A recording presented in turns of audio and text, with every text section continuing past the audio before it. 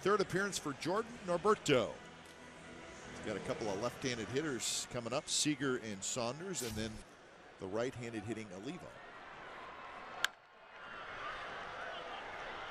Cespedes fighting the sun, but he's got it. Big hop for Jemile Weeks, and that is out number two. Bring him in from the left side. Slider down and in.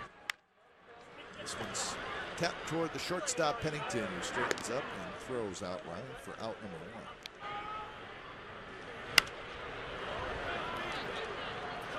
Recker flips the mask off, and with the one hand, he's got it. Bentley, right side, uh, who has it, and Jordan Norberto, a very nice two innings. He takes care of the sixth and the seventh. So we're moving to the eighth, 5-3 Seattle.